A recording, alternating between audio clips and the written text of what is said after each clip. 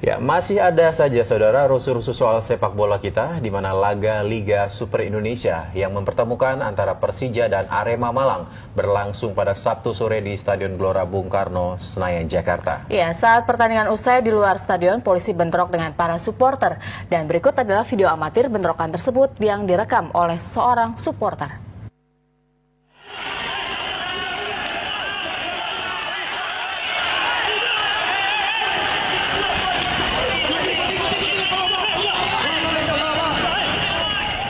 Situasi di luar Stadion Gelora Bung Karno, Jakarta saat Persija menjamu Arema Malang dalam laga ISL Sabtu petang.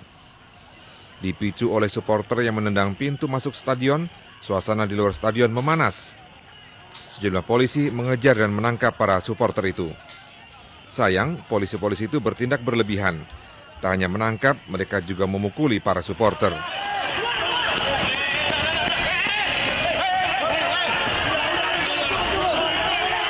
Para supporter lain tidak terima perlakuan polisi.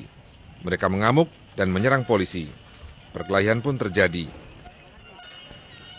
Di salah satu sudut stadion, seorang polisi ditemukan pingsan akibat diamuk supporter. Kerusuhan berakhir setelah polisi menerjunkan lebih banyak personilnya.